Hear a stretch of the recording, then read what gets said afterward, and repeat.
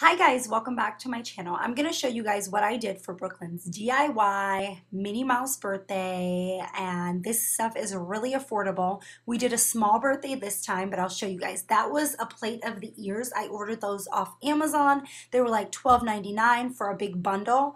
Here are some of the gift bags. I just did mini bubbles, Play-Doh and Play-Doh cutters and then little mini snacks inside of those. Um, this that three sign is a sign that I had and I just wrote a three on there. We covered a box um, with black tissue paper and then just put some mini um, decals on it. Over here, this is the not so hot chocolate station. I pre-put marshmallows and um, chocolate mix in there and each kid gets their own jar. These are the plate of snacks, so some mini snacks, pouches, and such, but that is my tablescape. We were just waiting for me to make more bags and for my mother-in-law to bring the cupcakes. And then over here I did it really simple, just a little um, balloon area, and then this is where all her gifts are gonna go, and I just dressed her little stuffed animal up, and then that little sign, happy birthday, was made on the Cricut.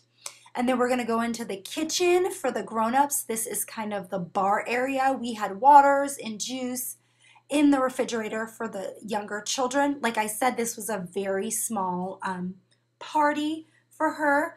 Um, here, the grown-ups can grab their glasses,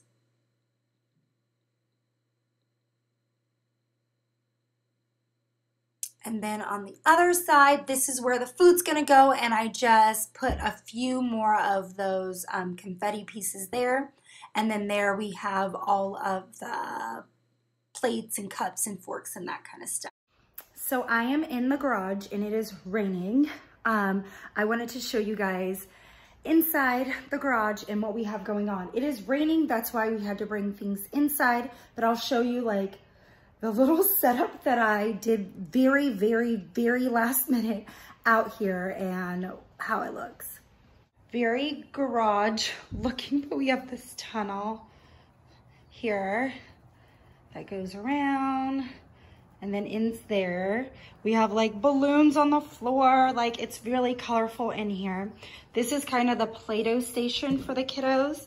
So we have play-doh and that and then this is the sensory station over here. So we have um, those little water beads, and then that's our little sensory area. It has duckies and all of this kind of stuff for them to play with. And then this area over here is just a little color station and um, I thought three or four kids could sit here at a time. I could rip out the pages and then they can just do some coloring. So that is our little setup in the garage for Brooklyn's birthday. And unfortunately we had to bring it in because it was raining, but I tried to make do what I had.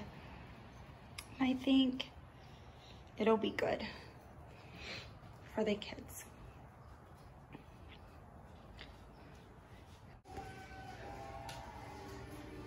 How do you feel? Are you excited? How old is Brooklyn turning? Two. No, how are you going to turn in two weeks? You're going to be three. Yeah. Are you waiting for your friends? Yeah. Yeah.